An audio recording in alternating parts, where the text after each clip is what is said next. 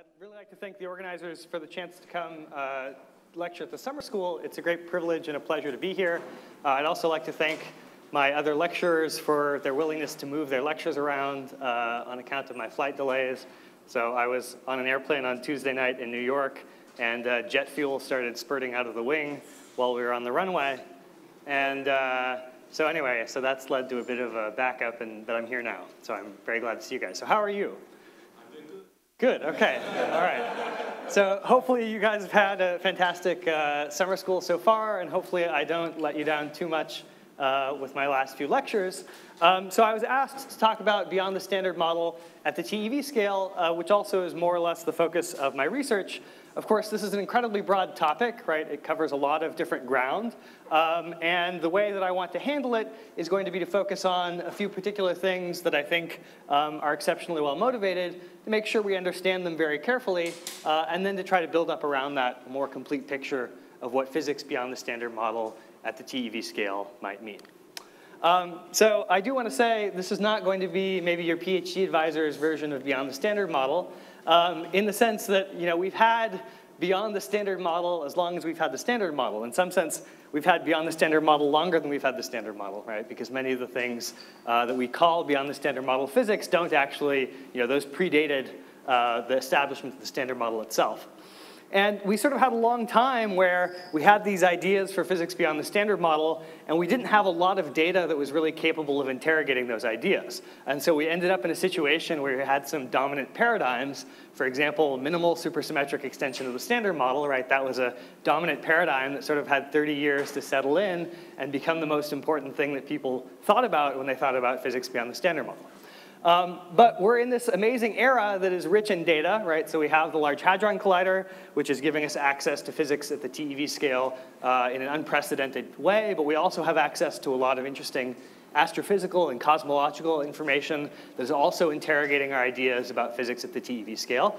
And uh, that data so far, right, that data has not found evidence for anything beyond the standard model, okay? So uh, that means that uh, our paradigms, the ideas that we've had for the last 30 years or so, for physics beyond the standard model, especially at the TeV scale, are really actual, you know, actually under a little bit of strain.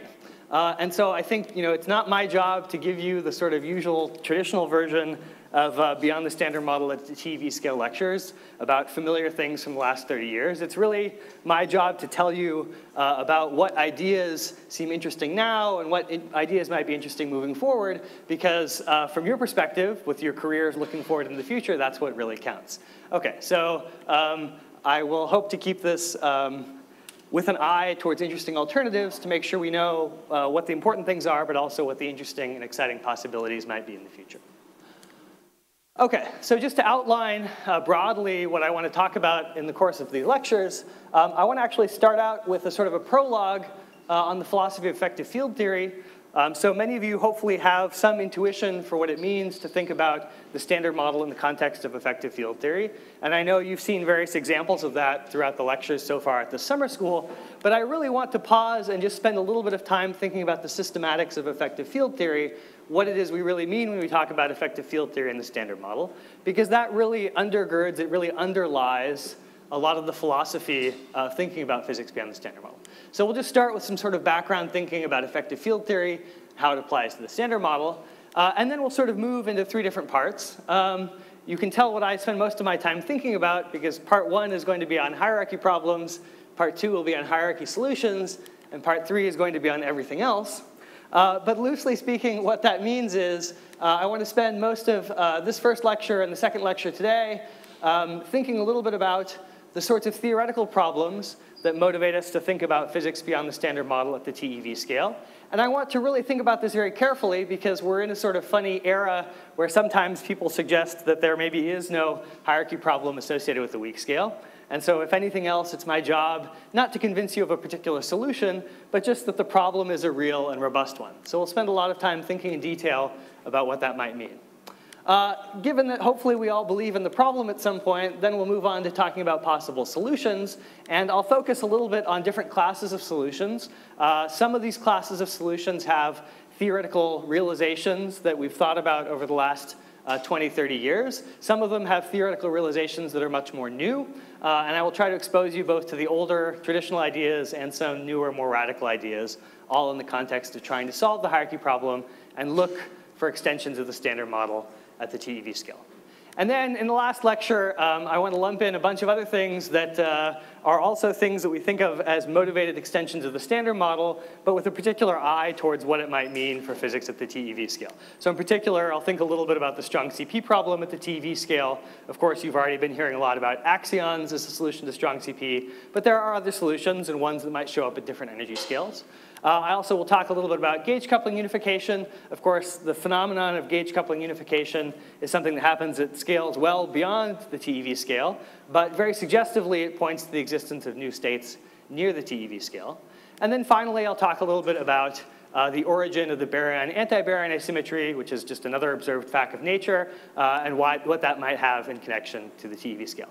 And we'll end with a sort of optimistic looking towards the future, not just what we have right now, both in terms of data sets, experiments, and theories, but what sort of data sets, experiments, and theories might be important over the time scales of your careers. Okay, so that's the sort of outline, and uh, let's get to it. Okay. So uh, I'm talking now to you guys about beyond the standard model at the TeV scale, so we should define what we mean by all of those words. Um, so by standard model, thank you, you thankfully you had um, some really nice lectures by Yossi last week uh, on the standard model itself. And so from my perspective, what I'm going to take the standard model to mean is uh, all of the observed matter representations that we fit into the standard model, right? So all the three generations of quarks and leptons, uh, the single Higgs doublet that we appear to have seen so far at the LHC, and then of course the gauge degrees of freedom uh, that um, communicate the, uh, the forces of the standard model itself. Okay, so those are the fields.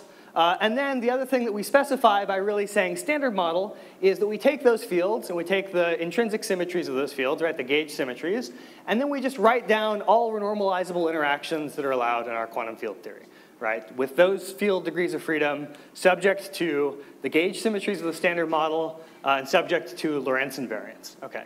Uh, in particular, by all normalizable interactions, that means either marginal interactions, so things like the Yukawa interactions, uh, or the couplings between gauge fields and matter fields, and then relevant interactions, which are just uh, the possibly allowed mass terms in the theory, which of course in the standard model are constrained by symmetries to be a very, very small number. Okay, so the notion that um, you should specify your field theory by specifying the field content and then writing down all of the normalizable interactions with non-zero coefficients, uh, this sort of satisfies what we think of as the totalitarian principle in a quantum field theory, right? That is that uh, the totalitarian principle, loosely speaking, is um, all of the possible interactions that are allowed by the underlying symmetries of the theory will, of course, be present at some level. And you know, that's just a manifestation of quantum mechanics, right? Uh, anything, you know, anything that is allowed in some sense by the, the underlying structure of your theory does happen with some probability. And so in the context of a quantum field theory, that means uh, there are various couplings and interactions that will appear at some level as long as they're allowed by the symmetries. Okay. So that's the standard model. Uh, here, of course, by the way, is you know we usually write it handily on a mug, uh, and I think everyone knows these days that this extra Hermitian conjugate is superfluous. Um, so having defined the standard model in this way, beyond the standard model means anything that is not contained in these ingredients. Okay, so it could be new fields, right? It could be additional uh, field degrees of freedom beyond the fields of the standard model, but it could also be irrelevant operators, right? It could just be operators involving standard model fields themselves, but not operators that we expect to appear at the marginal or relevant level uh, using the normal power counting arguments in field theory. So either one of these things, right, are physics beyond the standard model. Um, and uh, we'll spend uh, at least the next uh, couple of slides thinking a little bit more about why both of those things qualify as physics beyond the standard model. Okay. All right, so um, I've just made a big deal about the fact that beyond the standard model could include new fields, they could be new light degrees of freedom, but it also could include new interactions between standard model fields that are just not contained in the list of relevant and marginal interactions allowed by the symmetries. So what do I mean by irrelevant operators? Now this is something uh, hopefully that we all learn uh, in our early days of learning quantum field theory, but it's always good to remind ourselves how it works, uh, just so we're thinking in the right way. Um, so, you know, let's just think, think about it in the context of a, a, the one of the simplest possible field theories in four dimensions. Just consider uh, the scalar field theory, uh, uh, field theory of a real scalar in four dimensions.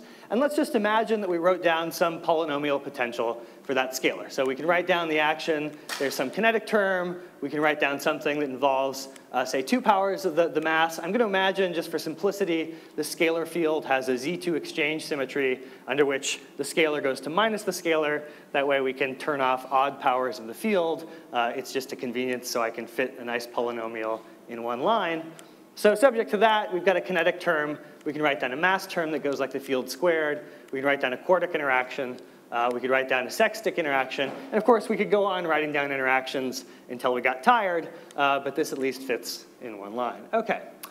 Um, so how do we analyze what this theory does? I mean, what we want to do with any quantum field theory, what we think about when we define a quantum field theory is we write down the quantum field theory at some high energy scale at which we imagine the theory to be defined. And then we just want to ask the question, given the quantum field theory defined at that scale, what does it do as we go to lower and lower energies? What is the emergent phenomena that happens in this field theory as we go to the far infrared? Okay. So to figure that out, we just use power counting, right? At the end of the day, quantum field theory is very fancy, but all we're really doing is dimensional analysis. Um, so in any dimensions, right, the dimensions of length and the action are fixed in natural units. And so then we can just go ahead and work out uh, what is the relativistic power counting, what are the mass dimensions or energy dimensions of all of the parameters that appear in this action. Uh, so of course it's easy to work out the measure. Uh, it's easy to work out that the scalar field in four dimensions has uh, dimensions of mass or energy. The mass term, of course, has dimension of mass squared. This quartic interaction is dimensionless, uh, and the sextic interaction has uh, dimensions of one over mass squared. Okay. So given that, right, if we define the theory at some uh, energy scale or some length scale, then we can go study it uh, at long distances by taking some scaling limit that just stretches our distances out to, to, very much larger ones and ask again, what does the field theory do as we go from short distances where we define the theory to much longer distances. So we can do that by just taking a scaling limit, right? So we can, we can take uh, our normal uh, coordinate x and we can rescale it by some parameter I'll call s, uh, and we can take the scaling limit of going to long distances by keeping the Lorentz structure of our positions fixed and just taking this parameter s to infinity. Okay, that takes us sort of uniformly out to long distances. Uh, now, of course, if we actually, if we do that, what that's going to do, one of the things it's going to do, it's going to rescale. It's going to give us a huge coefficient to the kinetic term. Uh, and it's a little harder to evaluate. Normally, we understand the fluctuations in a quantum field theory and the interactions with respect to canonically normalized fields. So the first thing we have to do is canonically normalize our fields so that we know what we mean by a propagating degree of freedom.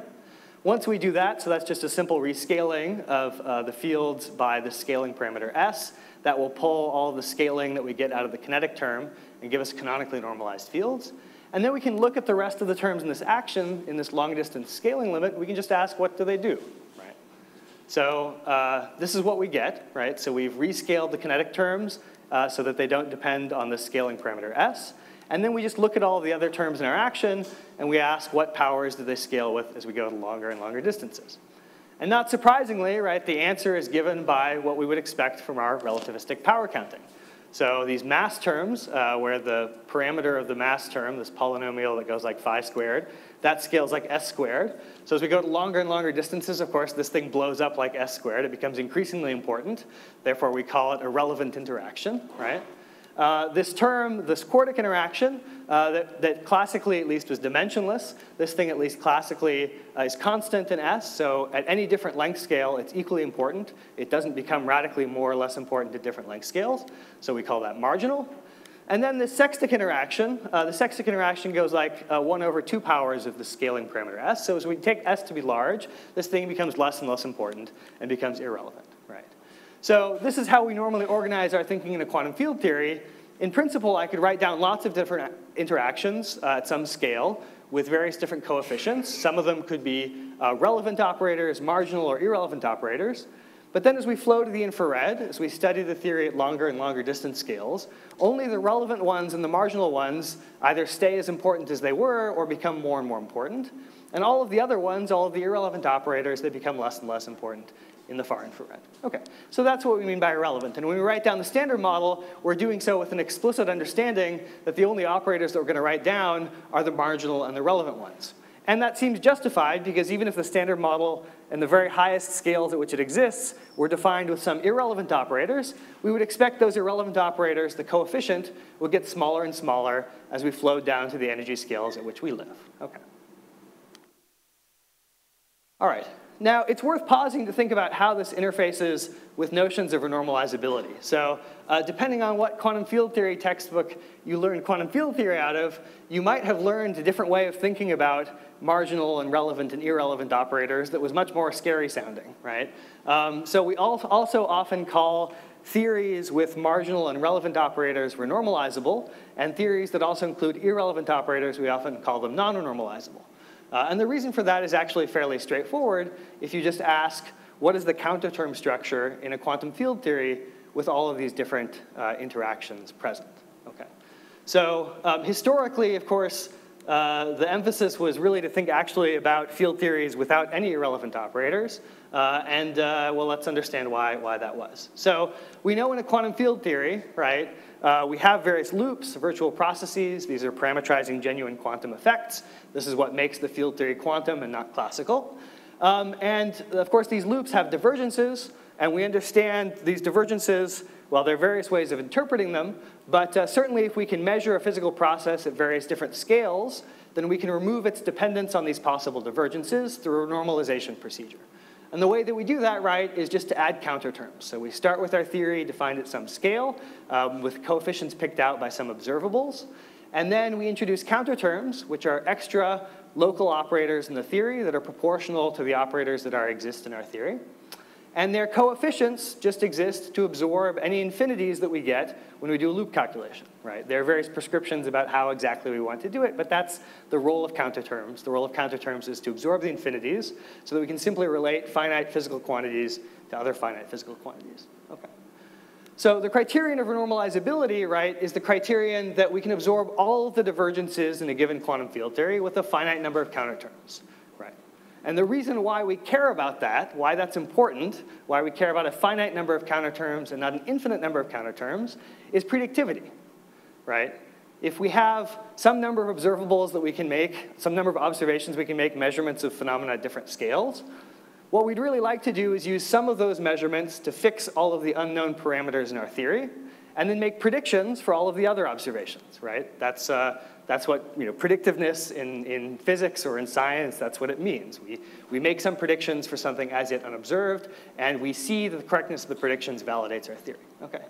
So if we had an infinite number of counterterms, right, if our theory were not renormalizable, then the thing that we would worry about is that we could no longer make any predictions, right? We have an infinite number of unknown coefficients, and we would have to make an infinite number of observations to fix all of them, to absorb, and then absorb all of the divergences, and we would never be able to predict anything right? So we would have to give up and go home. Okay, so that's why, at least historically, for a long time, there was very strong emphasis on the normalizability of quantum field theories. Now, we can see how that works, again, in our simple scalar example. It's pretty straightforward. Um, so again, as a reminder, at least the, in the scalar field theory example, the theory that just has marginal and relevant interactions, that's purely renormalizable. But adding this irrelevant interaction, I claim, makes the theory non-renormalizable. And now we can see why. Okay. And we can also rock out. I, I, I, dig that. That's, that's, that's awesome. Okay, I'm glad you're excited about this. Um, all right, so let's just imagine, first let's just start with the part of our scalar field theory that just has these marginal and relevant interactions, right? So the phi squared, phi to the fourth terms plus the kinetic terms. So if we want to go ahead and we compute some loops, okay, the first loop we can write down is just the loop that comes from taking two of the quartic interactions together. All right, we can connect those with propagators and we can make uh, a one loop diagram. And um, we can go ahead, well, you know, you guys are students, you're young and powerful, you could actually compute this, oopsie, in full detail. I'm old and slow, so all I can do is uh, uh, estimate things. But uh, we take this loop and we want to at least figure out what's the leading divergence. So the leading divergence, right, we take, uh, we have two powers of the coupling, so it goes like lambda squared. Uh, we're going to integrate over the loop momenta running through this loop.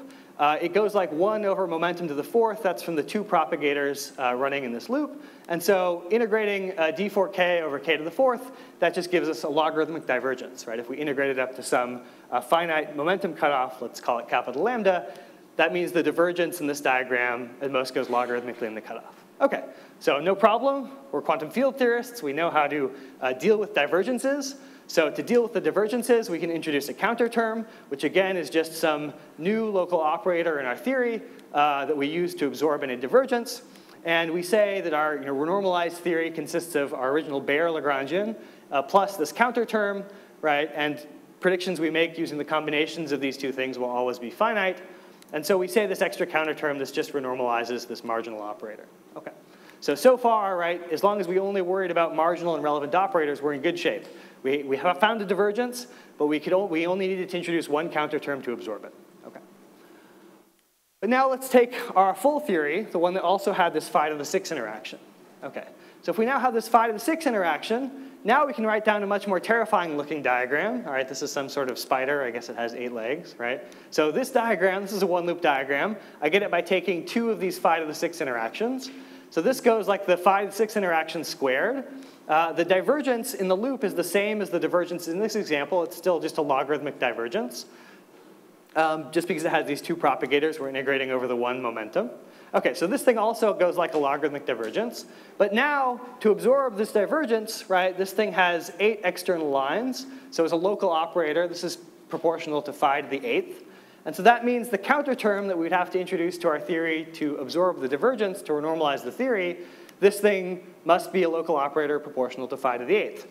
But phi to the eighth didn't exist in the theory that we specified, right? We wrote down a theory that had phi squared, phi to the fourth, phi to the sixth, and basta, right? But, uh, but now, actually, to absorb the divergences coming from the irrelevant operator, the phi to the sixth, we have to introduce a new operator uh, proportional to phi to the eighth.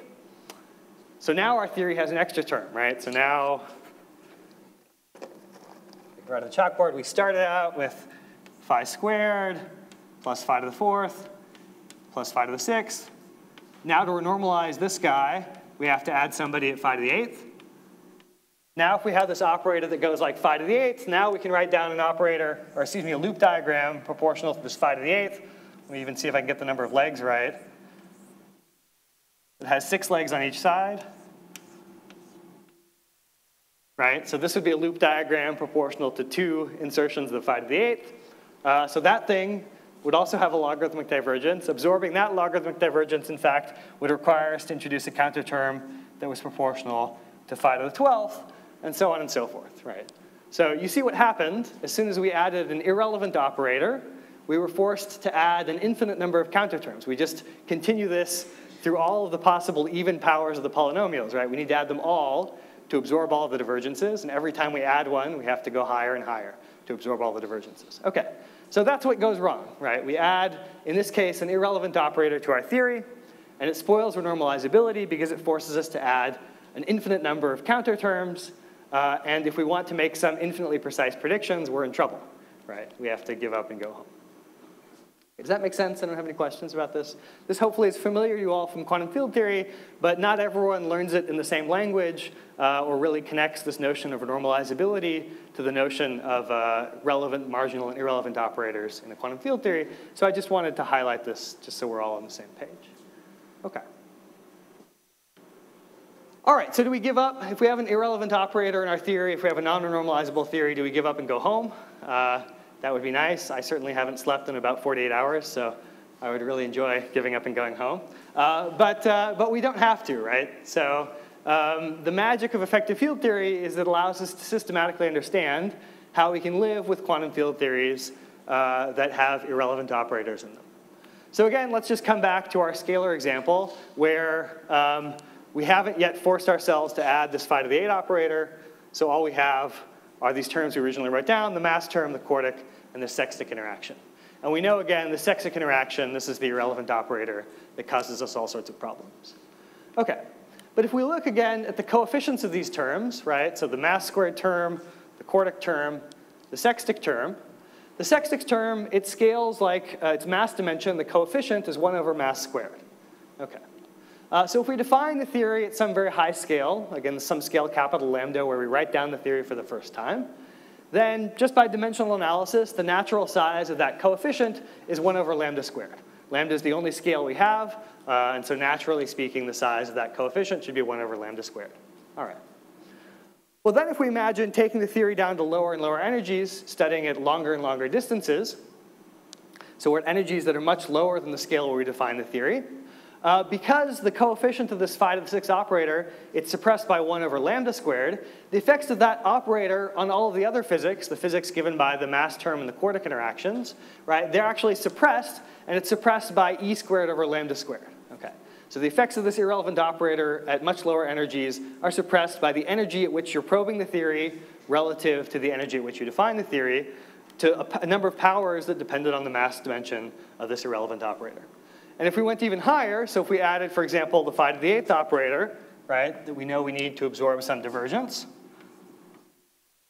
so the coefficient of this thing would go like, it would have mass dimension, let's give it some coefficient, I think we called it rho. So the mass dimension of this coefficient is uh, 1 over mass to the fourth, and so its contributions to physics at low energies would be suppressed by energy over lambda to the fourth, and so on. And in fact, the suppression gets larger and larger the more irrelevant we go in these possible operators. Okay.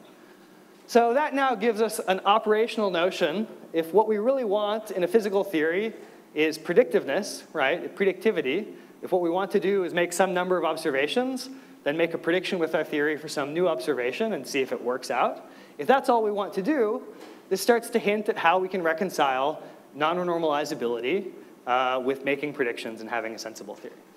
So the notion is every time we make a prediction or every time we make a measurement, we do so with some sort of finite precision, right? We never make infinitely precise measurements. I know it probably seems sometimes like we're making very precise measurements of some things, but every measurement is finite in its precision, and every prediction is finite in its precision. You know, and if you look at uh, various measurements from the LHC, they all come with large error bars. Sometimes those error bars are even on the order of the central value of the measurement itself. So if we have some finite precision at which we want to make a prediction, right, and if we're working at some energy scale that's much lower than the energy scale at which we define the theory, we can afford to include a finite number of irrelevant operators and ignore any irrelevant operators at some higher order, right, as long as the contribution of those higher operators to various observables is smaller than the precision with which we're making measurements. Okay. In other words, you know, we can neglect an operator phi to the n as long as the precision of a measurement we make is not any better than something that's of order e over lambda to the n. Okay. So that allows us, as long as we have a, a, a, uh, we're not infinitely ambitious, we stop at how precise we want to make a measurement, we can afford to write down a theory that has irrelevant operators in it, and we just by hand stop adding all of the other operators required to absorb divergences. We can just stop adding all of those, as long as we're willing to have some finite fixed amount of precision. Okay. Of course, this only works if we're studying the theory at energies that are much lower than the scale at which the theory is defined, right? As we start to go up to energies at which the theory is defined, then of course the suppression factor of E over lambda is becoming an order one number, and all of those irrelevant operators that we threw away, they're becoming increasingly important, and we have to bring them back because they're now making large contributions to all of our observables. Okay, so that's just the statement that then if we have an effective field theory with some irrelevant operators in it, we can afford to include only a finite number of those irrelevant operators and still make predictions, as long as we're not trying to make predictions with precision greater than the energy at which we're probing the theory relative to the high scale at which the theory is defined to some power. And as we start to take the energies up to the scale at which the theory was defined, we'd better actually start including more and more of these irrelevant operators, or we'd better understand where the irrelevant operators are coming from. Okay. So this allows us to reconcile our notions of renormalizability and predictivity with the idea that we might, at some point, end up with a quantum field theory that has irrelevant operators. Okay. Um, so hopefully that makes sense to everybody. Um, it's, uh, it, hopefully it's, it's part of everyone's education as a quantum field theorist these days, but you do find, especially in the language of quantum field theory, uh, as it's been phrased over the last 50 years, sometimes this little bit of extra understanding is, is missing. Okay. All right, so just to bring the picture together, all right, so what do we really mean by effective field theory then? So normally, uh, if we're understanding, if we're writing down any physical theory, what we normally specify is we specify the important degrees of freedom. So if we're studying quantum field theory, we specify the fields in the theory. Uh, and then we also generally specify the important symmetries, right? So again, if we're studying a quantum field theory, we're really specifying what are the interactions between the fields. And if we take these two things plus renormalizability, right, that gives us the standard model. That just amounts to specifying the field content, the forces of the standard model, and then writing down all of the interactions that are marginal and relevant, consistent with Lorentz invariance and uh, gauge invariance. All right. So we can go one step further into effective field theory by relaxing that requirement of renormalizability. Um, and to relax the requirement of renormalizability, we can still have predictivity as long as we specify some extra expansion parameters.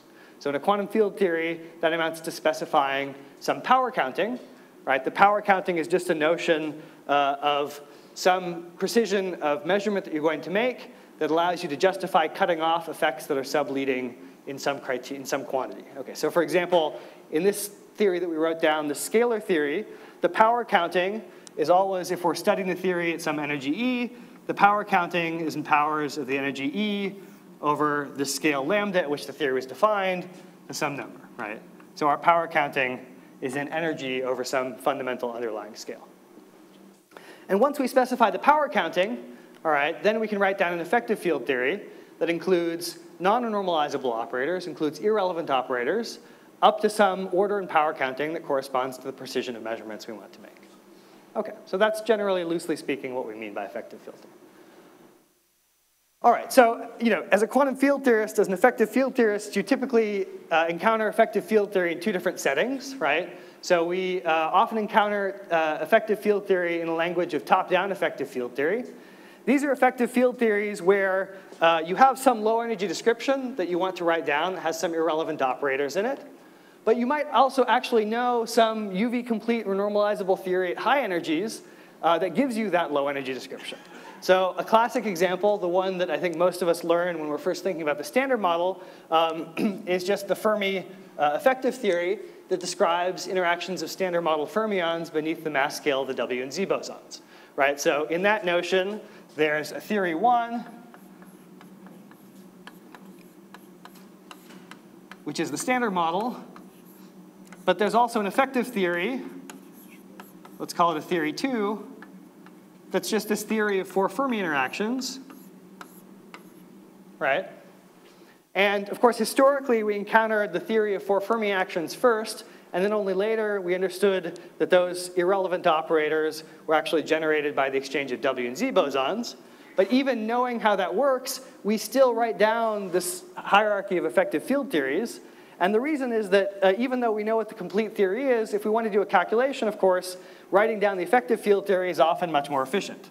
So one reason for this is uh, there are radiative corrections to you know, various processes that are mediated by W and Z bosons. For example, there are QCD corrections to interactions between fermions that are mediated by W and Z bosons. Now, you'd be welcome to write down and calculate those corrections in your full theory of the standard model, but you would find that anytime you did a calculation, it was subject to some very large logarithm that made your perturbation series poorly behaved. So what you do instead is you go to this much simpler description where you actually, instead of having the W and Z bosons, you just have irrelevant operators involving standard model fermions. And then you go ahead and you compute the effects of these QCD loops directly in the effective field theory, and that actually allows you to resum large logarithms from QCD very efficiently. So there are many examples where even if you actually know what the complete renormalizable theory is, we very often write down some low energy effective theory and do our calculations in terms of that low energy effective theory because it's a much more compact and efficient way of doing a calculation. Okay, so that's one context in which we encounter effective field theory. The other one, uh, which is the one that's more relevant actually to the standard model itself, is what we call a bottom-up effective field theory. So in a bottom-up effective field theory, you don't know what the UV theory is. You don't have a complete or normalizable theory uh, of all of the interactions. So all you have are some low energy degrees of freedom that you see at long distances. You don't know the underlying theory. So your rule here is just to write down all of the interactions that are consistent with the symmetries. You can't predict any of the couplings, so all you can do is make measurements in data and use it to fix some of the couplings, and then work at some order of power counting that allows you to justify whatever number of irrelevant operators you want to include. So this, you know, most of the effective field theories that we actually think about as quantum field theorists fall into this category.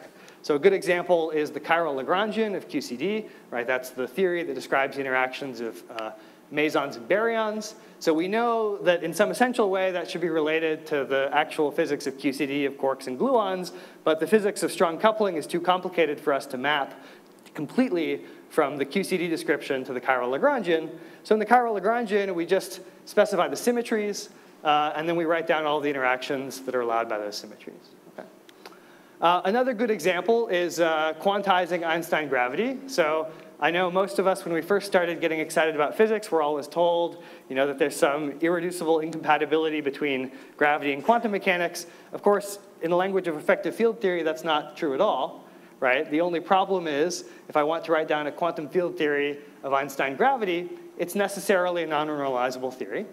But now we know we don't have to be scared about non-normalizable theories, right? As long as we have a well-defined power counting, as long as, for example, we're studying gravity at energies that are much lower than the Planck scale, we can write down a perfectly consistent non-normalizable quantum field theory of gravity, study the interactions of spin 2 particles in a quantum field theory, as long as we don't ask too many questions about what happens as we get close to the Planck scale. Okay. And finally, actually, uh, the final good example of a bottom-up effective field theory is actually the standard model itself. All right. So let me try to justify that statement, right? We started out by saying the standard model was defined by writing down the fields in the standard model and all of the interactions that were allowed by its symmetries. And now I'm going to tell you that, in fact, that was not a good idea, and that we should actually think of the standard model as being an effective field theory that's defined from the bottom up and necessarily should contain irrelevant operators. Okay. So why am I making that strong claim that the standard model is just an effective field theory rather than some complete normalizable field theory? Well, there's really two reasons for it, right? Okay, so one of them is connected to the notion that we haven't included gravity in our description of the standard model. So gravity, we can write down some effective field theory for gravity, but that effective field theory uh, has infinite number of terms as we get close to the Planck scale. So we know something has to happen around the Planck scale to give us a complete theory of quantum gravity. And we expect that whatever happens at the scale of quantum gravity also takes the standard model along for the ride. Okay, so the standard model is a field theory, but we expect at energies close to the Planck scale, something happens. Maybe it's string theory, maybe it's something else. Whatever it is, the field theory degrees of freedom in the standard model cease to become the relevant uh, variables for describing the theory, and they're caught up in whatever physics describes the complete theory of quantum gravity. You could actually ask yourself, it's a very useful question to ask yourself, um, is that actually necessarily uh, required? So is it possible maybe that uh, Einstein gravity, quantum gravity takes care of itself? It goes off and does its own thing. Something happens to it that solves the non-normalizability of a quantum theory of gravity. And the standard model just stays as a good field theory up to arbitrarily high energies, okay? That would seem to be a perfectly reasonable assumption. We don't have a theory in detail for how that would work, uh, but maybe that's something that could happen. Um, it actually turns out, right, uh, that that can't work okay? Um, and the reason it can't work, you can see just by studying what happens to the couplings of the standard model as you go up to arbitrarily high energies. So um, I'll describe this in more detail in just one slide, but loosely speaking, right, we measure uh, the gauge couplings of QCD and the electroweak interactions. We measure them down at the z-pole. And then if the assumption is the quantum field theory at high and higher energies is just the standard model, then we can run those couplings up to higher and higher energies just using the beta functions for the gauge couplings. Uh, we can do it whatever loop order we wish to calculate. And so if you just take those couplings and you run them up, all right, if you run them up to arbitrarily high energies, what you see is actually the coupling that's the smallest down in the infrared, that's the smallest down at energies that we occupy, the gauge coupling of hypercharge, it actually blows up at some point. Okay, the point at which it blows up is 10 to the 42 GeV. All right, it's a scale that is vastly beyond uh, any of the scales or energies that we probe. Um, but that's a statement that if we just had the standard model on its own and we took it to arbitrarily high energies without involving it in some completion of quantum gravity, that the standard model itself would actually end up generating a pole and hypercharge at very high energies. Now, the physical interpretation of that uh, Landau pole is very interesting. So you can actually go on the lattice and you can ask what happens if you put the standard model um, into a setting where the hypercharge gauge coupling blows up at very high energies. And the answer is that actually the blowup of hypercharge gauge coupling causes all of the fermions in the standard model that are charged under hypercharge to make fermion condensates with non-zero expectation values. So it does in the ultraviolet an analogous version of what QCD does in the infrared. It makes a vacuum condensate of fermions, and that vacuum condensate of fermions, it would actually break electroweak symmetry and do a lot of other terrible things. So the consistency of the theory, the fact that we see the standard model at low energies with unbroken symmetries, tells us that this is not actually what happens in nature. So something does have to come into the standard model to keep hypercharge from blowing up in the far ultraviolet. And the suggestion is probably what happens is whatever completes the theory of quantum gravity also cuts off the running of standard model gauge couplings and prevents us from ever having to deal with this. Okay, but it's a useful question to ask yourself, right? Does the completion of quantum gravity necessarily have to also cut off the standard model? Okay, the second piece of evidence we have that the standard model is an effective field theory is we just have incontrovertible evidence, right, full stop. There are additional fields and operators beyond the standard model that are not included in the standard model, and we know about them in nature, right? So those things that are not included in the standard model, those are things I'm not allowed to talk about in my lectures, but you've heard about in the other lectures at the summer school, right? So uh, does anyone want to tell me an example of an additional field or operator beyond the standard model that we know is there?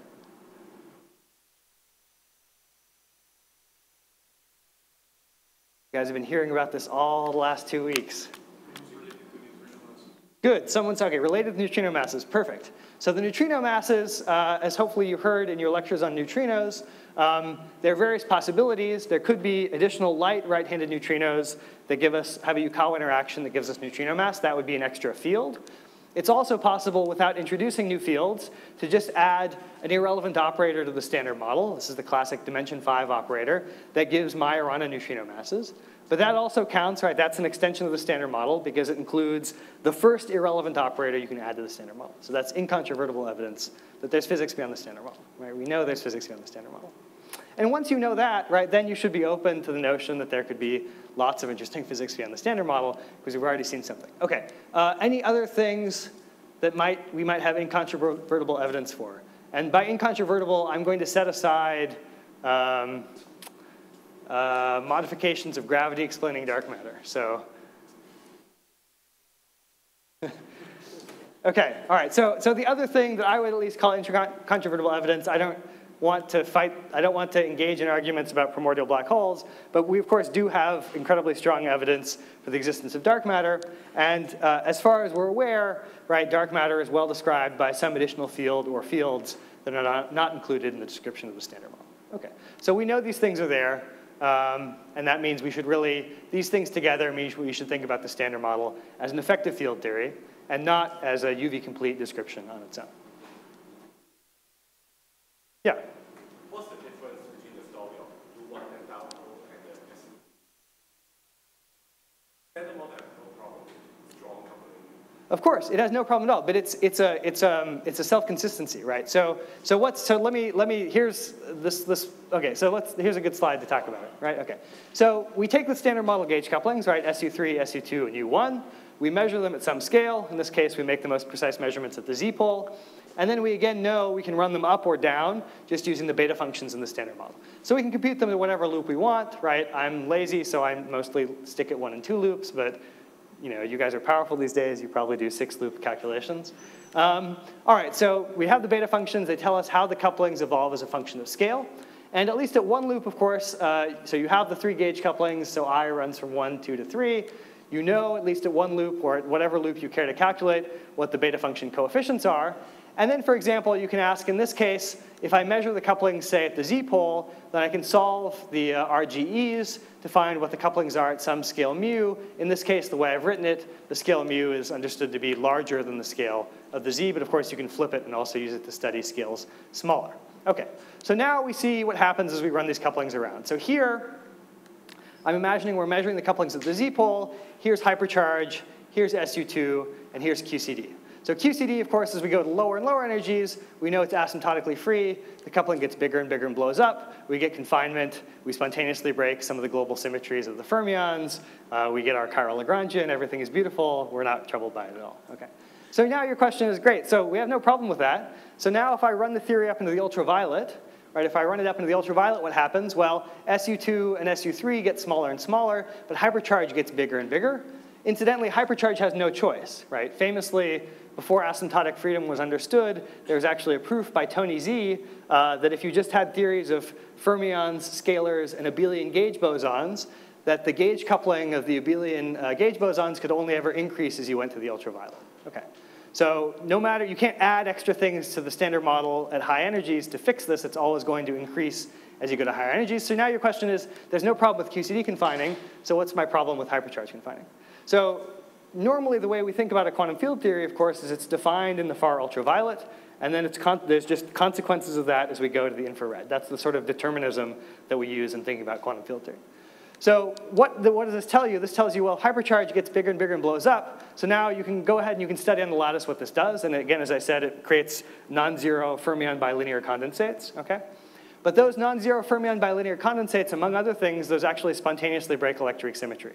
Okay, so what that would tell you, in fact, was that if there were a condensate from strong coupling of hypercharge at high energies, you would get fermion vacuum condensates that would break electroweak symmetry. And the order parameter for electroweak symmetry breaking would not be down at the weak scale, where we see it. It would be up at 10 to the 42 GeV, and its natural size would be 10 to the 42 GeV. Okay, so it's a self-consistency argument, right? If this is what actually happens, we would never actually see electroweak symmetry down at low energies. Okay, so something, so consistency, the fact that we see electroweak gauge fields at low energies, tells us that something has to prevent this from happening. Okay. All right, so normally what do we think happens? Well, normally we assume either, look, right here, there's a suggestive point where the couplings run together.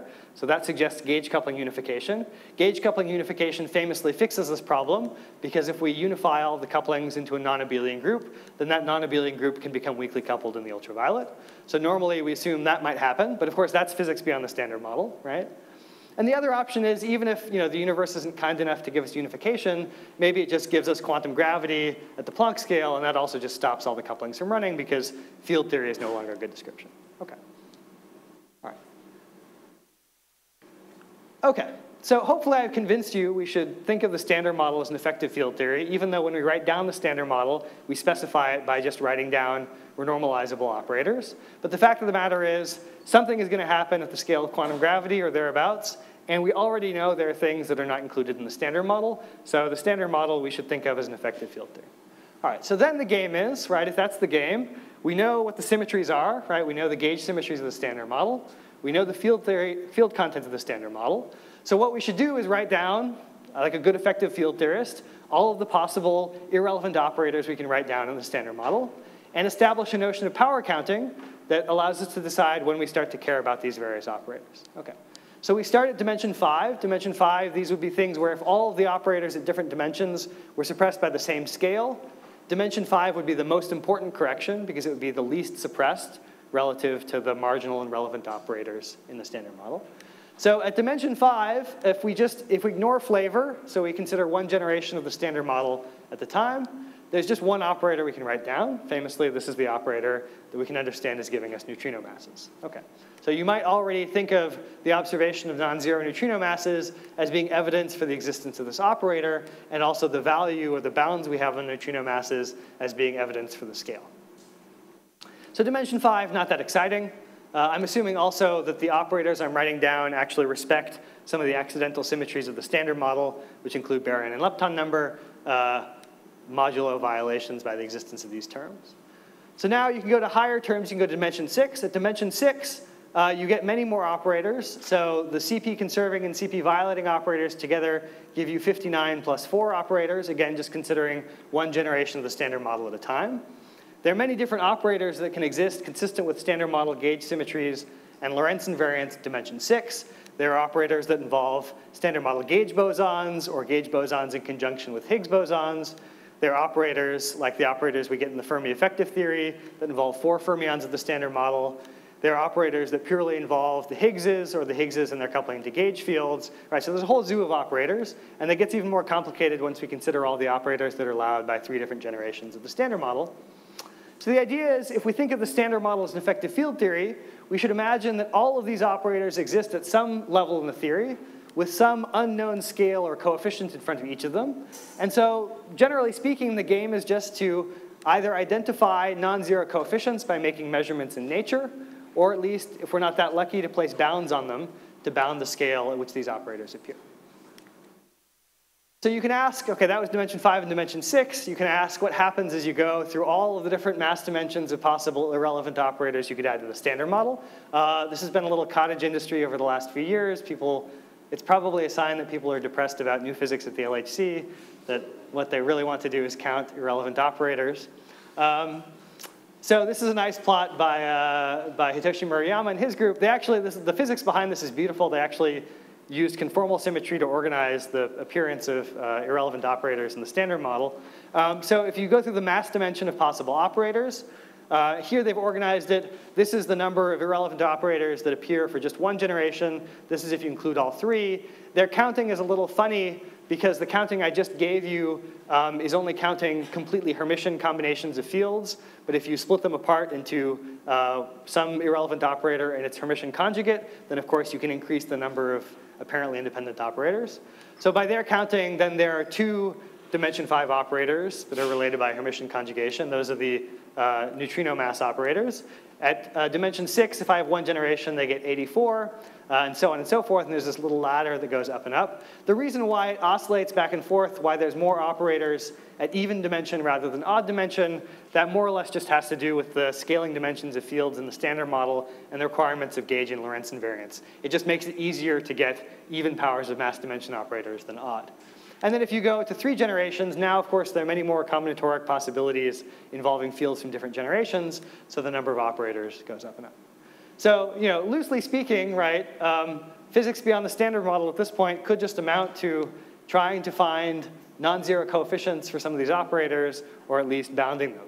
And the way we would do that, of course, is just by looking at all possible data, all possible probes we have of the standard model, making as many possible predictions as we can, and making as many possible measurements that we can. And at a given order in power counting, that's enough to either constrain or discover evidence for various operators. Okay, so you know, we get to draw data from over, thankfully, a fantastic range of energies. Uh, you've heard about probes that work on various parts of this line. This is as you go through different energy scales or length scales or time scales from the very longest distances, longest time scales, the very shortest distances and shortest time scales. There are lots of ways we can interrogate the standard model. There are lots of ways we can look for coefficients of these operators. Uh, but most of what I'm going to talk about for the rest of my lectures is really looking at these coefficients uh, and looking at the standard model, looking for physics beyond the standard model right here around the GeV scale and the TeV scale. And it turns out, of course, that of all of these operators that we can use to extend the standard model, these irrelevant operators, most of them, the bounds that we've set on the operator coefficients, are around the TeV scale.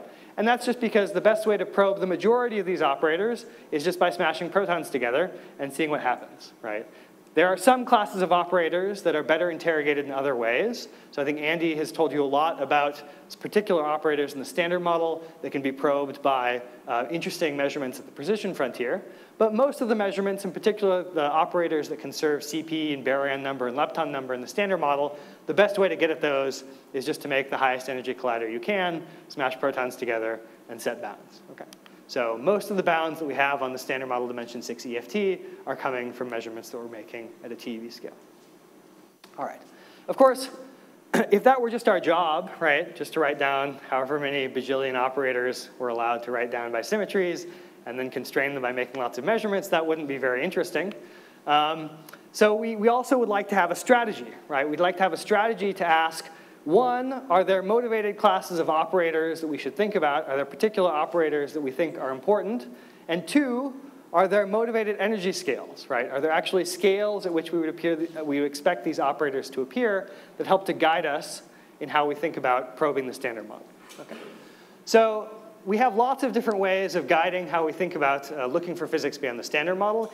Each one of them is related to a problem or a shortcoming of the standard model. Um, so you've heard about a lot of these so far uh, during the summer school, so I just want to briefly blurb them. I organized them, loosely speaking. These are all things that would be extensions of the standard model that would have some scale of new physics associated with them. And uh, they're not all created equal, okay? So some of the things uh, I call, these are substantial uh, bits of physics beyond the standard model. These are things like dark matter or neutrino mass. By substantial, I mean they're things that we really have actual evidence that they exist. Okay, right? So dark matter, we have very good evidence from concordance cosmology, from galactic rotation curves that dark matter exists. Uh, so it's pretty substantial that dark matter's out there. Similarly, neutrino masses, we have very firm evidence for neutrino masses. That's not included in the standard model. So those are substantial things that are beyond the standard model. We also have things where we don't have substantial evidence, but from the measurements we've made, we have very suggestive evidence. So we were just seeing that if you run the standard model gauge couplings up to higher and higher energies, they appear to cross at some point. All right, that gives a hint that there might be some unification of gauge couplings. So at least in the current data we have, we have a hint that there might be unification of standard model forces. We also see in nature, of course, there's an excess of baryons over antibaryons. Uh, that excess uh, is of a nature that would be very hard to get out randomly from uh, natural early conditions in the universe. So we also, at least there's very suggestive evidence by the excess of baryons over antibaryons that there's some mechanism that generated the baryon asymmetry in the early universe. So that's also su suggestive evidence for that extension of the standard model. And then finally, we have the problems that actually we spend the most time thinking about uh, as people who do theory of physics beyond the standard model, the problems that we spend the most time thinking about are in some sense the most speculative because we don't have any evidence that these solutions to these problems exist. We have no evidence so far that solutions to these problems exist. The reason why we think they're problems and we try to solve them is because we see something in nature that is in tension with our theoretical expectations of how nature should behave. Now, you should always be scared or at least a little terrified whenever you're using that to justify something, right? Nature doesn't care what we think.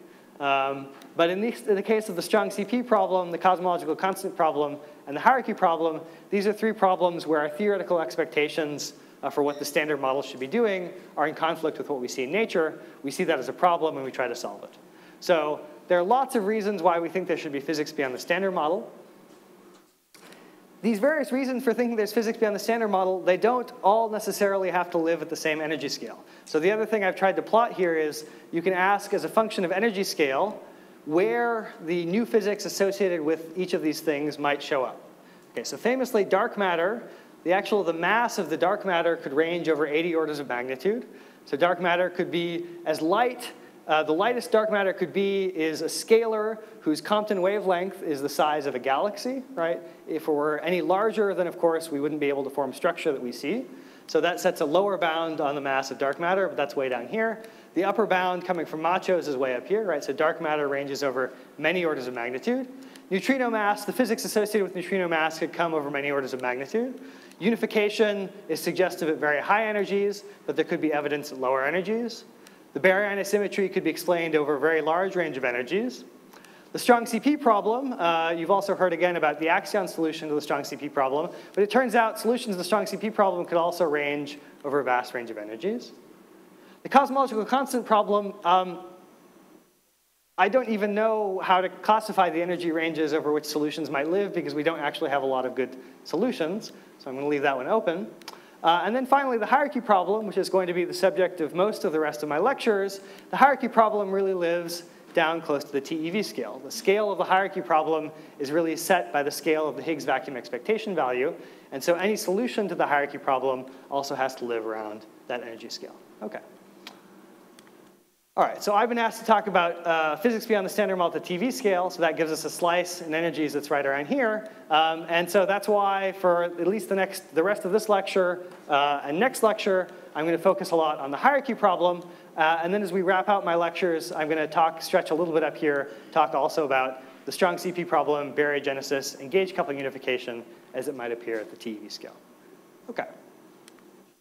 All right, before we move on, does anyone have any questions? a warm afternoon, everyone's feeling a little sleepy, you had a nice lunch, right? Okay, all right. So let's get on to the hierarchy problem. And my goal here is primarily to convince you that the hierarchy problem exists. And that's because I think it becomes popular these days, if you don't think about the hierarchy problem that carefully, to think that the hierarchy problem is some fantasy and that people who think about the hierarchy problem are just deluded. Now, you might conclude by the end of my lectures that I am just deluded, but hopefully it won't be because you think the hierarchy problem is vacuous. Okay. So to understand what the hierarchy problem is, right, the electroweak hierarchy problem, uh, first we need to understand a little bit about our expectations for the size of quantities in a quantum field theory. Okay. So our expectations for the size of quantities in a quantum field theory uh, loosely speaking, these are things that we call natural values of parameters. And so uh, these criteria that we impose on the size of parameters in quantum field theory are things we call naturalness criteria. So the first naturalness criteria goes back to Dirac, all right? It's the sort of simplest thing you would imagine. So Dirac posited, you know, if you have a theory with some fundamental scale, capital lambda, then you have a natural size for every operator coefficient in your quantum field theory, right? You've added the fields, you can write down all the possible interactions, and you want to ask what is the size of every interaction. Uh, and Dirac tells you there's a natural expectation for what that should be. So every, the size of every operator coefficient should be some order one dimensionless number times the fundamental scale appearing with however many powers it has to to make up the mass dimensions of the operator. So in the example of our scalar field theory, right, the mass term had mass dimension mass squared, so it would appear with lambda to the fourth. The quartic term, uh, the coefficient had mass dimension zero, so it would appear with no powers of lambda, but with an order one coefficient. The phi to the sixth appeared as one over mass to the, uh, one over mass squared was the coefficient, so that would go like one over lambda squared. Okay, so Dirac naturalness is just the expectation. All dimensionless numbers are one, all dimensionful parameters are the defining scale of your theory. Uh, and the reason for this is pretty simple, right? Any quantum field theory, any interacting quantum field theory, uh, quantum effects connect all possible interactions in all possible ways, unless there's some special selection rules. So at the end of the day, everything is going to come out to be more or less the same value in its appropriate units. And this is what gives us this naturalness criterion. Now, 't Hooft led us to a slightly more refined, or depending on how you think about it, a slightly more weaselly notion of naturalness. Hooft pointed out, you know, there are ideas of selection rules, right? We see selection rules all the time in quantum mechanics. Um, and so selection rules should tell us quantum effects don't connect everything together. There might be some things that are protected from quantum effects, and those would be, at least we'd be justified in setting them aside and uh, justifying their natural size as being different from the natural size of everything else. Okay, so in detail, all right, what Hooft told us was that coefficients of operators can be much smaller than the Dirac natural value if, when we take the coefficient to zero, the theory has an enhanced symmetry, okay? Uh, so in particular, if there's some operator where taking the coefficients of the operator to zero gives us a larger symmetry of the theory, then the natural size of that operator is the Dirac natural value times some parameter that can be less than one, that can be small, and that parameter we can think of as the parameter that violates this enhanced symmetry. So the reason for this, this thinking is pretty clear, right? Let's imagine I never had this operator, the operator was zero, so my theory had some enlarged symmetry. Okay, so if that enlarged symmetry was a perfectly good symmetry of my theory, then quantum effects would respect it. All right, assuming it wasn't an anomalous symmetry, quantum effects would respect it. And that means no renormalization effects would generate an operator that violated the symmetry. Okay, so everything would just be uniformly, this operator would stay uniformly zero even after quantum effects are taken into account. Now, if I can imagine breaking that symmetry by a very small amount, okay? Now, of course, quantum corrections can uh, so now the symmetry is no longer an exact symmetry of the theory. Quantum corrections no longer have to respect the exact symmetry. But they had better be proportional, the quantum corrections that violate the symmetry, they'd still better be proportional to the amount by which I broke the symmetry, right? Because that's necessary for me to smoothly interpolate between the limit where the symmetry is exact and perfectly respected by quantum corrections and where it's inexact and violated by quantum corrections. For that, there be smooth behavior uh, interpolating between those two limits quantum corrections had better be proportional to the violation of the symmetry. So that justifies the appearance of this term, right? This is the amount by which I violate the symmetry. And if it's small, that tells me I can have some coefficients that are smaller than others. And those coefficients are the ones where if I took them to zero, there would be a larger symmetry in my theory. Okay, so that's the notion of technical naturalness. All right, so we have these two notions of naturalness, and then we go out in our quantum field theories of nature, in particular in the standard model, and we ask how good these are as guidelines to, uh, to the values of parameters we see in the standard model. So the first place we can go to look to ask if this notion of naturalness is a good idea is actually where Dirac looked. Okay, the, the reason Dirac came up with this notion in the first place and had a problem with it was he saw the mass of the proton down at a GeV. He also knew there was some mass scale associated with quantum gravity, somewhere around 10 to the 18, 10 to the 19 GeV. And he wanted to know, right, his notion of naturalness said that these scales could not be different from each other, but they were different by many, many orders of magnitude. So Dirac was just asking, why is the proton so much lighter than the Planck scale? Okay. Uh, so in Dirac's time, that was a puzzle. We now know, of course, it's not a puzzle at all. It's actually a beautiful consistency of a quantum field theory. So the lightness of the proton with respect to the Planck scale is a perfect example of Dirac naturalness, but you needed the right uh, degrees of freedom, right? So we know the proton now, of course, is not an elementary field. Uh, the proton is just a bound state of quarks uh, from the confinement of QCD. And so we can understand the hierarchy between the proton mass and the Planck scale in terms of Dirac naturalness as follows, right? We again, we have the beta functions of the standard model. Uh, they give us, they tell us if we measure the couplings at some scale, we can then evolve them to other scales just by renormalization group evolution. So in particular, if we imagined uh, the QCD coupling is being given to us at the Planck scale where the theory was defined, right, then we could compute the QCD coupling at any lower scales just by solving the beta functions. And at least at one loop, right, we can figure out the, the QCD coupling at a lower scale just from the one loop solution to the renormalization group equations. Okay, so if we take this, of course, the way that this works, the sign of the QCD beta function coefficient is such that given a finite value of the QCD coupling at some scale, it just gets larger and larger as we go to longer and longer distances into the far infrared. So that means in principle, at some point then, of course, it blows up. And we in fact know this happens in nature. This is confinement of QCD. So we can go ahead and ask, where does that scale happen, right? So that scale happens where the QCD coupling, loosely speaking, goes to infinity, or 1 over the QCD coupling goes to 0. So we can use that to define a scale that we call the QCD confinement scale.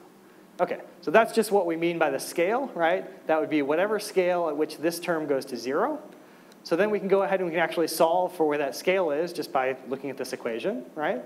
So the scale at which 1 over the QCD coupling goes to 0 all right, is the scale that is the Planck scale, right, where we started out defining our theory, times an exponential, and the exponential goes like there's factors of 2 pi, there's a beta function coefficient, and there's 1 over the gauge coupling of the Planck scale. But this is very interesting, right? We see we started out with one scale, the Planck scale, and now we get another scale that is exponentially different from the Planck scale, and it's exponentially different because the gauge coupling runs logarithmically. Okay. So this is the well understood phenomenon of dimensional transmutation. Uh, it's the notion by which if you start out with one scale, you can get an exponentially different scale just due to the logarithmic running of gauge couplings. All right. Now, of course, we know the proton is just a bound state of confinement of QCD. So to first order, at least, the mass of the proton is the confinement scale of QCD. And that now answers Dirac's question, right? It tells us if the theory of the standard model was defined up at the Planck scale, so the only dimensionful scale was the Planck mass, but the proton doesn't exist up at the Planck scale. The, the dimensionless couplings, for example, are the standard model gauge couplings. If they're order one up at the Planck scale, then we just run them down to lower and lower energies. We find that QCD blows up, and it gives us a new mass scale that's exponentially different from the Planck scale. So this perfectly satisfies Dirac's criterion of naturalness. When the theory was defined, all of the scales were the Planck scale, all of the couplings were order one, and then the phenomenon of dimensional transmutation gave us a bound state, the proton, that was exponentially lighter than the Planck scale. Okay, so Dirac didn't know it, but this was beautiful validation of his picture. All right, so score one for naturalness. Yeah. Of course, there's another big hierarchy when we look at the standard model, and this is another one um, I think that Yossi talked about a fair bit uh, during his lectures, uh, which are the flavor hierarchies, right? We look at the fermion masses in the standard model, or equivalently, we look at the Yukawa couplings, and we also see a large range of numbers, right? We see, you know, the electron is about 10, excuse me, about five orders of magnitude lighter than the top quark. If we imagine that uh, the neutrinos get their masses from a Dirac-like coupling, then of course the Yukawa associated with the neutrinos is something like 11 orders of magnitude lighter, smaller than that of the top quark. Um, so, you know, this seems to be a violation of Dirac naturalness, right? We have dimensionless couplings in the standard model, the Yukawa couplings that range over somewhere between 5 and 11 orders of magnitude. Okay, so that, that seems bad for Dirac. Uh, but thankfully, 't comes in and tells us it's okay, right? While there might be a large numerical hierarchy in these couplings, it's technically natural. Okay? And the reason it's technically natural, I think as Yossi emphasized in his lectures, is if you took all of the standard model Yukawa couplings to zero, right? There's an enhanced symmetry of the standard model. It's the symmetry under which you can do flavor rotations of all of the different fields. Okay, so in particular, there's a nice decomposition where you can think of it as we have three different generations. So there's an SU3 symmetry of rotating all of the left-handed quark doublets into each other, and there's an SU3 symmetry for every other type of left-handed Weyl fermion in the standard model, right? So there's five different SU3 symmetries, and then we can break off five different U1 global symmetries that we can think of as baryon number, lepton number, hypercharge, a Peccei-Quinn symmetry, and a free extra rotation of right-handed uh, electrons. All right, so there's, if we turn off the Yukawa couplings of the standard model, we get this giant U3 to the fifth flavor symmetry. And so, and we can think of turning on the Yukawa couplings of the standard model. We can think of these as being, the Yukawas as actually being spurions, that is to say, we can think of them as being uh, parameters whose uh, values violate the symmetries, but by a small amount, they give us selection rules that tell us how radiative corrections have to preserve or violate the symmetry. Okay, so we think of the Yukawa couplings, turning them on to non-zero values as being parameters that violate this large symmetry. And so from Dirac's, excuse me, from 't notion of technical naturalness, it's at least plausible to understand why some Yukawa couplings might be different from others, right?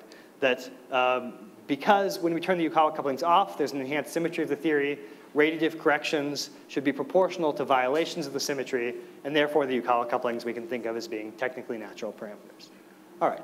Now, that doesn't mean, of course, that we feel perfectly happy about them.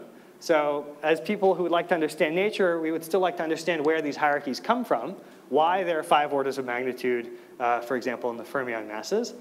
But uh, that's a separate question, right? If someone gave you a theory for these five orders of magnitude, you at least would understand why radiative corrections didn't spoil it, because these parameters are technically natural.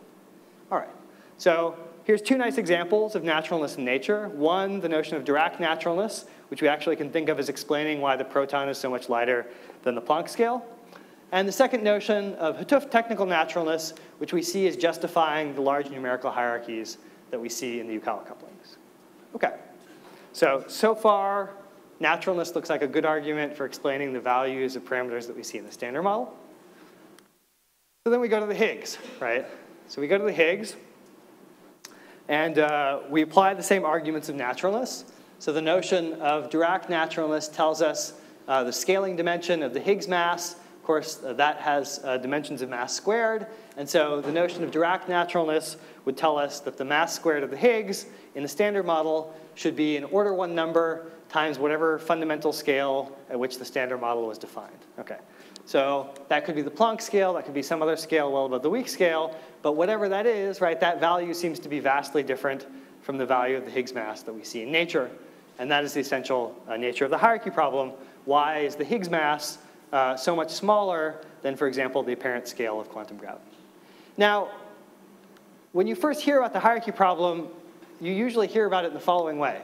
Somebody writes down something that they call a quadratic divergence, right? They say, oh, I've got the standard model, right? I've got the standard model. I've got the Higgs. Let me compute a radiative correction of the Higgs mass. So I've got a one loop diagram, for example, that corrects the Higgs mass that comes, say, from top quarks running in a loop, right? Or uh, maybe I have a one loop diagram coming from W and Z bosons running in a loop. I compute those diagrams, right? I integrate them up to some hard momentum cutoff lambda. I get a quadratic divergence, right? So the Higgs mass gets a quadratically divergent correction that's proportional to the cutoff squared and then it has some coefficients that depend on the various standard model particles that run in the loops, right?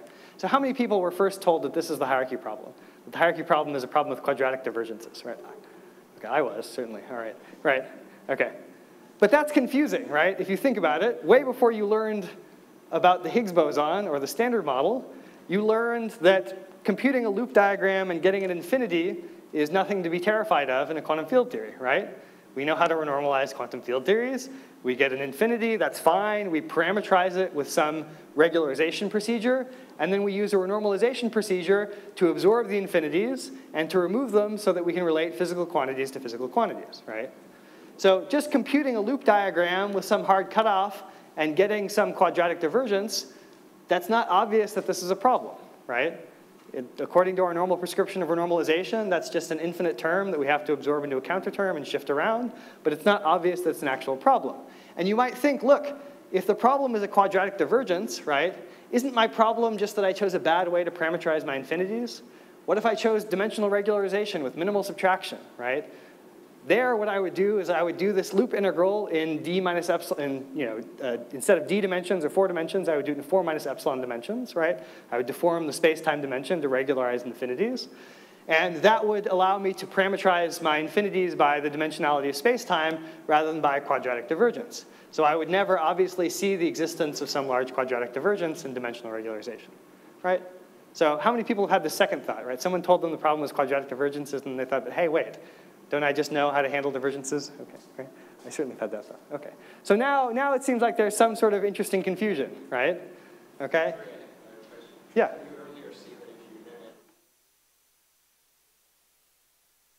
No, this, this, so if we write down the standard model, so if we write down the standard model as a, as a so if we ignore neutrino masses, okay, we could just write down the standard model as a, a renormalizable theory where all the interactions in the standard model are themselves renormalizable, right?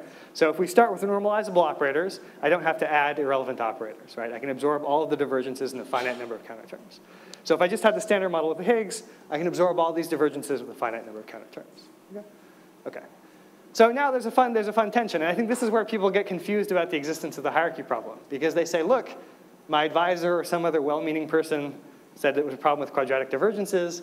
I understand quadratic divergences are not actually a problem in a quantum field theory, they're just a sign that I have to do some renormalization. Uh, and so then there's confusion about whether this is a real problem. So of course the answer is the quadratic divergence is not the actual problem, right? The hierarchy problem is not the existence of quadratic divergences. The quadratic divergences are a sign that there's a problem, but you have to think at least a little bit more carefully about what the problem actually is. Okay, so let's now get into that. Okay.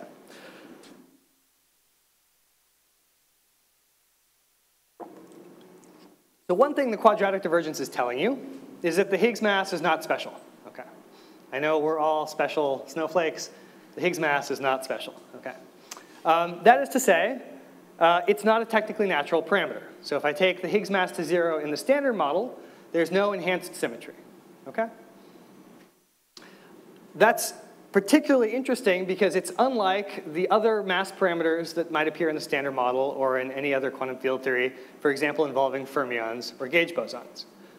For example, if I have a fermion, say some Dirac fermion with some mass, I can make that mass much smaller than the fundamental scale of my theory in a technically natural way, because if I take that mass parameter to zero, there's an enhanced symmetry of the theory, right? If I take the mass of a Dirac fermion to zero, there's a chiral symmetry under which I do chiral rotations of the Dirac fermion.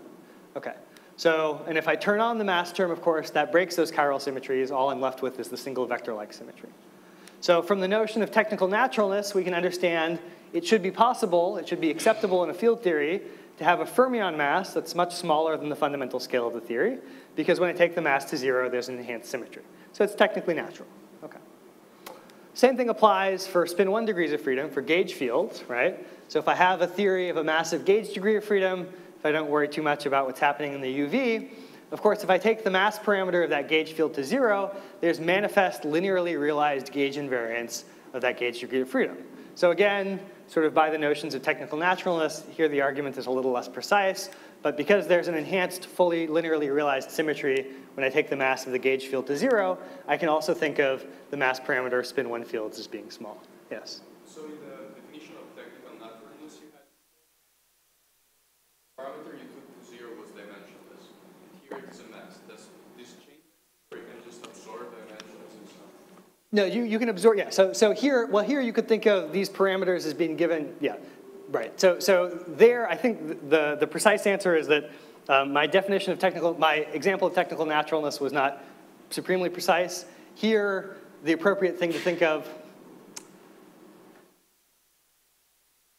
uh, here the appropriate thing to think of is that the mass parameter itself is much smaller than the fundamental scale. But you could also have examples where the mass parameter was the fundamental scale times a small dimensionless parameter. Okay. But as far as these examples are concerned, chiral symmetry and gauge symmetry, it's purely an argument that you can think of as relating to the size of the mass parameter itself. Okay. So now you can understand it's possible to have technically natural mass parameters for a spin one half particle and a spin one particle.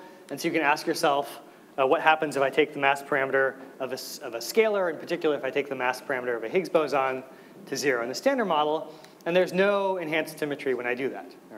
So the Higgs mass uniquely, the Higgs mass parameter is an invariant of all of the preserved symmetries of the standard model. And so if I take it to zero, then of course there's no new symmetry that emerges. All right.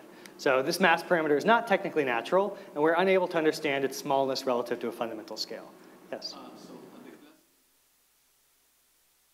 so, so um,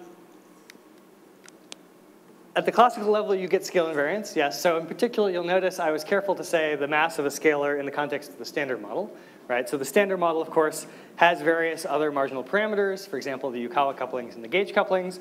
And in quantum mechanical theory, those, of course, um, violate the shift symmetries or the scale invariance that you would have at the classical level.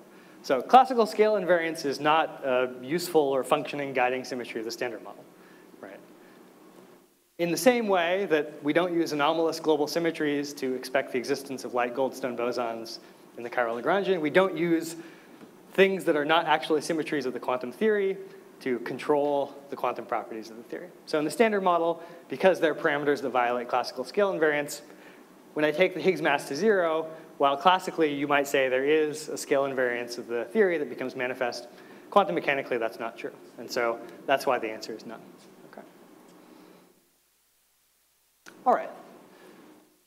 So this is part of the way there, right? The quadratic, the existence of a quadratic divergence is just related to the fact that there's no manifest enhanced symmetry uh, that arises in the standard model as I take the Higgs mass parameter to zero. And so I do expect if the theory is defined at some fundamental scale, there's no reason for that mass to be much smaller than that scale. So if you look at this, at this, quadratic divergence, there's really, what this is actually telling you, there's sort of two different levels of hierarchy problem that it's signaling, okay? Um, and I like to call these the strong form of the hierarchy problem and the weak form of the hierarchy problem. I happen to believe in both forms of the hierarchy problem. At the very least, hopefully I can convince you by the end of these lectures that you should believe in at least one of them. So the strong form of the hierarchy problem really dates back to the original Wilsonian conception of a quantum field theory, where you know, Wilson, I mean, as a condensed matter theorist, if you see a divergence in a, in a condensed matter system and you regularize it with some cutoff scale, you actually believe that that cutoff scale is physical, right? That cutoff scale is, for example, the size of some lattice or the size of some, uh, some fundamental degrees of freedom in your effective description. and so from that perspective, actually, all apparent divergences in a quantum field theory um, are actual real things, and cutoffs are actual real terminations of, uh, or real cutoffs to the actual momentum behavior in loops. Okay, so the strong form of the hierarchy problem is the notion that whatever your fundamental description is, your fundamental description should be finite, all quantities should be calculable, and anytime you get something like a quadratic divergence, what it's really signaling is actually some physical sensitivity to whatever is making the theory finite. In the standard model, we don't actually, we, it, it's hard to know exactly what the strong form of the hierarchy problem means because in the standard model itself, right, not all quantities are finite. So in particular, the fact that the Higgs mass has a quadratic divergence, uh, nothing controls the size of that quadratic divergence, nothing tells us, allows us to predict the Higgs mass parameter in the standard model. So we don't know exactly what to make of this. But anytime you extend the standard model to make the Higgs mass parameter a calculable quantity, something that you could predict in terms of other fundamental parameters, you see that it, in fact, um, the existence of a quadratic divergence, what it tells you in a finite theory is that the Higgs is getting contributions from whatever mass scale is set by the fundamental degrees of freedom. So we'll see examples of this in the remaining lectures. In particular, um, anytime you, for example, extend the standard model with supersymmetry or a global symmetry, both of which render the Higgs mass finite in a well-defined way, you see that there are meaningful contributions to the Higgs mass of this size. Okay. So that's the strong form of the hierarchy problem. The fundamental theory should be finite. Something like a cutoff is really uh, corresponding to some actual physical scale. It could be a lattice spacing or a discretization of space-time. And so the existence of a quadratic divergence tells you really that there are finite contributions from whatever physics is rendering the Higgs mass finite itself. But even if you don't believe in the strong form of the hierarchy problem, there's also a weak form of the hierarchy problem. So the weak form of the hierarchy problem says, look, I don't know what happens in the far ultraviolet of the standard model. I don't know if we have a string theory or a space-time lattice. I have no idea. I'm not going to worry about it. I'm just going to do what I learned how to do when I first learned quantum field theory, which is only talk about observable quantities, things like pole masses, right? And so what I'm going to do is I'm going to go ahead and I'm going to make measurements, and I'm going to relate them at different scales, and I'm going to absorb all of my divergences into counter terms, okay? And I'm only going to talk about finite quantities, all right?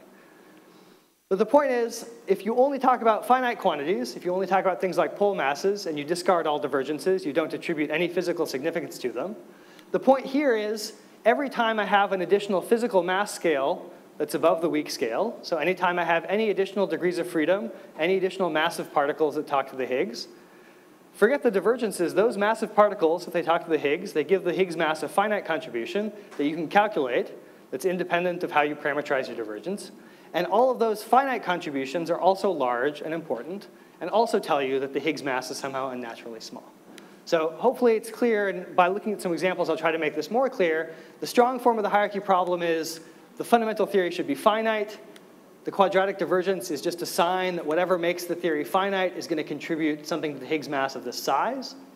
The weak form of the hierarchy problem says I'm not going to worry about interpretation of divergences. I'm not going to worry about making my theory finite. But every time I have a new physical particle with a physical mass scale, it's going to give me a physical calculable contribution to the Higgs mass that will be finite, whose size will be given by the mass of the new particles. So we'll get to realizations of the strong form of the hierarchy problem uh, in the next few lectures. But the next thing I just want to convince you of is even if you only believe in the weak form of the hierarchy problem, namely the only things I'm going to worry about are finite calculable contributions to the Higgs mass coming from the masses of new particles, that even the weak form of the hierarchy problem is, is a big deal. Okay. So I've got about five more minutes to this uh, first lecture, so I just want to start with a very simple toy model to understand this weak form of the hierarchy problem. Um, and the simple toy model, let's just imagine writing down a theory with a single real scalar and a Dirac fermion. Okay, so we can write down a kinetic term for the real scalar, we can write down a kinetic term for the Dirac fermion. Let's imagine we write down, for example, a mass term for the scalar. We could turn on a self-interaction. We write down a mass term for the fermion, and let's write a coupling between them, a Yukawa type coupling that couples to the scalar to the fermion. Okay, so now we want to ask ourselves the question, can we arrange in, for a theory to be such that the scalar is much, much lighter than the fermion? In other words, can we make this mass parameter, the mass of the scalar, to be much, much smaller than the mass of the fermion? So this says nothing about you know, quadratic divergences, the finiteness of the theory, or any of that stuff. I just have a mass of the scalar, a mass of the fermion, and I want to know in a quantum theory, can I make these two scales very well separated? Okay. So if I do that, one thing I can do as an effective field theorist, right, if I make the fermion very heavy at some mass scale big M, I make the scalar light at some mass scale little m, as an effective field theorist, what I should do is I should think of, at short distances, I have a theory of both a scalar and a fermion, but beneath the mass scale of the fermion, I can integrate it out, and I really just have an effective field theory given by this light scalar degree of freedom. So I can go ahead and I can study the effective field theory of this light scalar degree of freedom, which is the quantum field theory that's relevant for all of these energies between the two mass scales. Okay. So to do that, what I would do is I would start with my fundamental theory that I defined at short distances, and I would integrate out the massive fermion at the scale capital M, and I would come up with an effective field theory at lower scales of just the light fermion, excuse just the light scalar. So this is an example of a top-down EFT, right? I have the fundamental theory, the fundamental parameters, I match to a lower energy description that just involves the scalar. So I can ask, what are the natural values of the parameters in that effective field theory? Okay. So I can do this in lots of different ways. So what do I do? Okay, so I have my original theory. My original theory has a scalar and a fermion. And so at one loop, for example, I can calculate, I've got the bare parameters in my theory. I have the mass of the scalar and the mass of the fermion. And then I can calculate one loop corrections, for example, coming from a loop of the fermion correcting the mass of the scalar. All right. So those, the sums of those contributions will give me the mass of the scalar degree of freedom at low energies. So I can do those loop calculations however I want. I can do the loop calculation, for example, um, with a hard momentum cutoff. And so if I do the loop calculation, again, this is just a loop calculation. I want to ask, in my effective field theory, what is the mass of my scalar?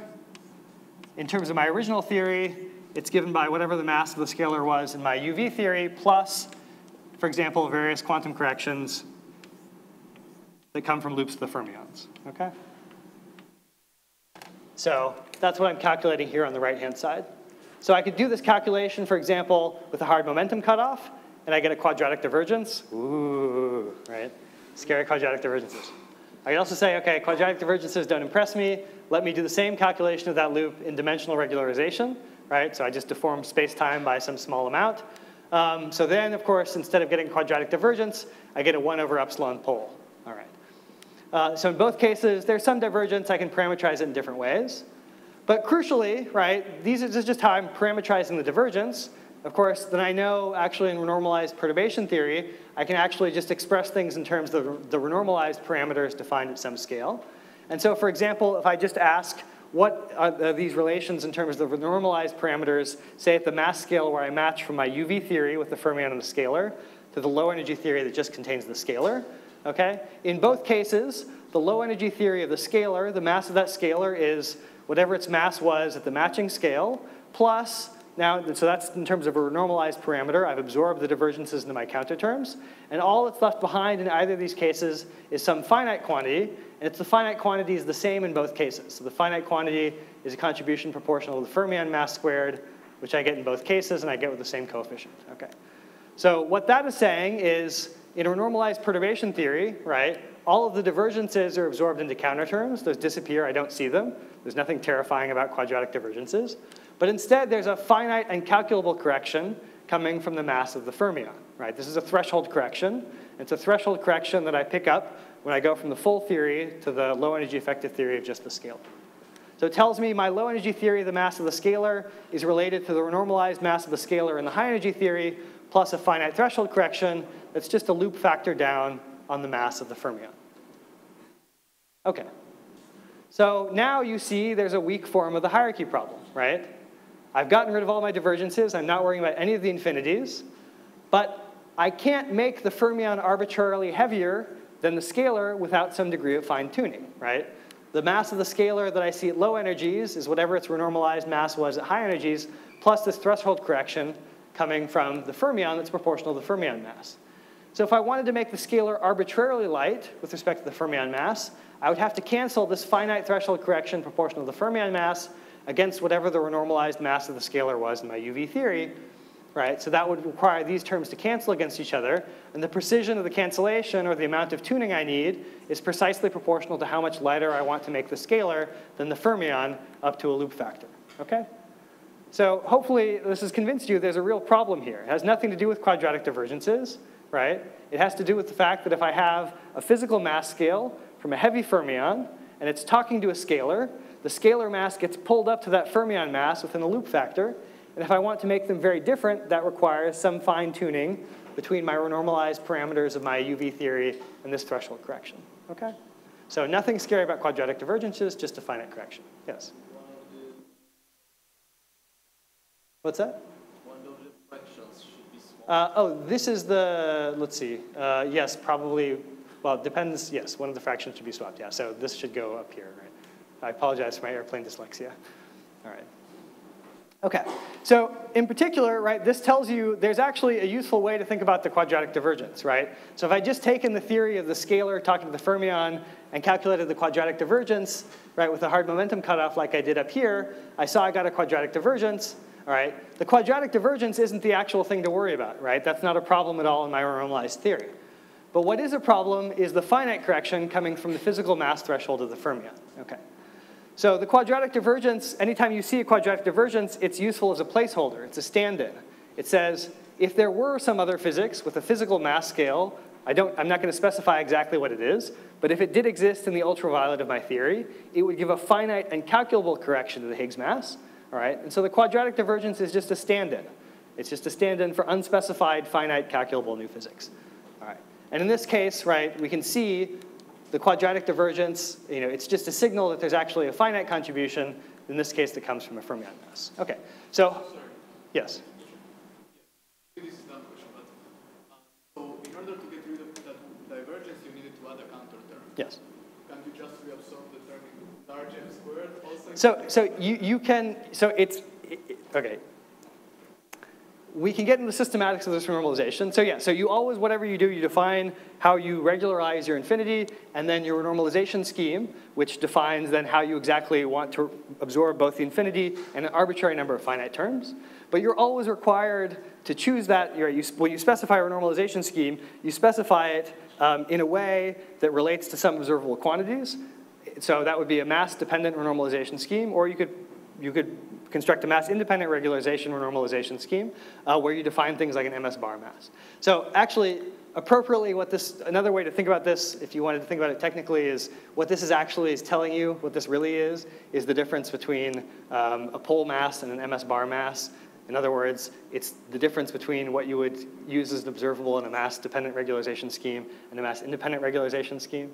Okay, and the disagreement between those two is still telling you, it's telling you there's a notion of a finite mass threshold that exists in your theory that is separating those two definitions of a mass scale. All right. So I apologize for that technical excursion, but it, it's an assurance to you that, that even if I choose in a some perverse way to define my renormalization scheme to absorb that as well, I will find that if I compare observables at different scales, or if I, observe, uh, if I compare different definitions of, of, an observable, this quantity will always appear, okay? Uh, and the last thing to emphasize before, I cut, before we go off to coffee, because I know we all need coffee, is you could flip the argument and you can ask, what if I had the theory where I made the scalar heavy and I wanted to keep the fermion light? Is there any problem with keeping the fermion light? So I can now ask the same question where I flip the roles and I ask about a low energy effective theory of the fermion. And here there's no problem, right? I can go ahead and I can calculate the fermion mass at low energies, and there is a finite correction to the fermion mass, but it's proportional to the fermion mass, not the scalar mass? This is just a manifestation of the fact that the mass parameter of the fermion is technically natural. If I take the mass of the fermion to zero, there's an enhanced symmetry, a chiral symmetry, that guarantees that radiative corrections to the fermion mass are proportional to violations of the chiral symmetry. In other words, that finite piece is now proportional to the fermion mass itself. Okay, so we don't have the same problem for the fermion, we just have it for the scalar. And again, this is a manifestation of the fact that the scalar mass is not a technically natural parameter, but the fermion mass is. Okay, I think that's enough for this first lecture, so let's all uh, take a break and go have some coffee. Thank you.